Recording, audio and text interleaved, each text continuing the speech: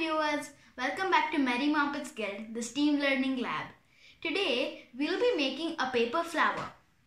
It looks like this. To make a paper flower, you'll be needing a piece of colored paper, skewer sticks, tape and scissors. First, you cut your paper to the amount of the length of approximately one skewer stick and the width of little more than three fourth of a skewer stick. I have chosen to use crepe paper because it rolls easily but you can still use any paper you want.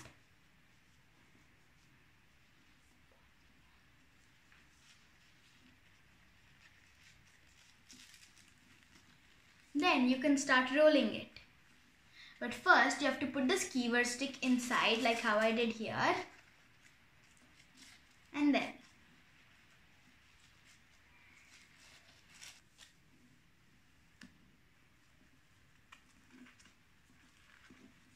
you can roll it till there's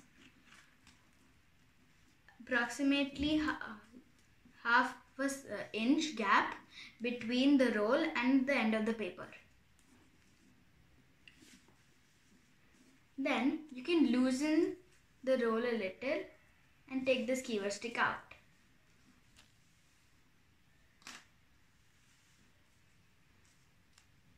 Then take your scissors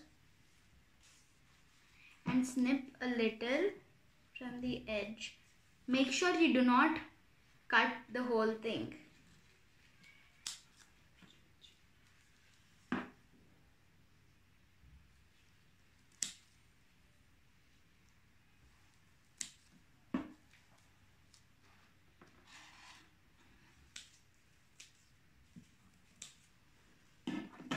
And then flip it around. And then you can take one of your skewer stick. Cut a small piece of tape.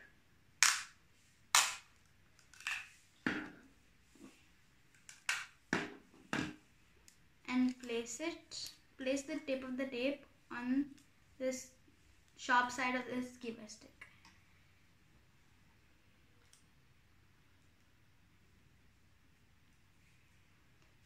and stick it. Then you can start rolling it.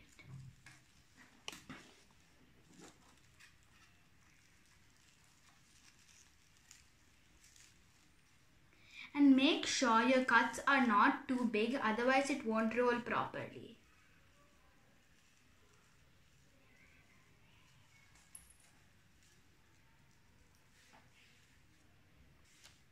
Once you're done rolling it, stick the end with tape and then push it up. Our paper flower is ready. You can make many of them with different varieties like how I've made here. I've used a little thicker paper. And you can make lots of them and put them in a vase.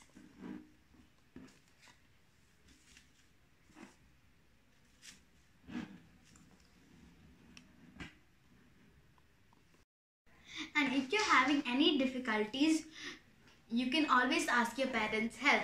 Like I had difficulties while rolling it and cutting it.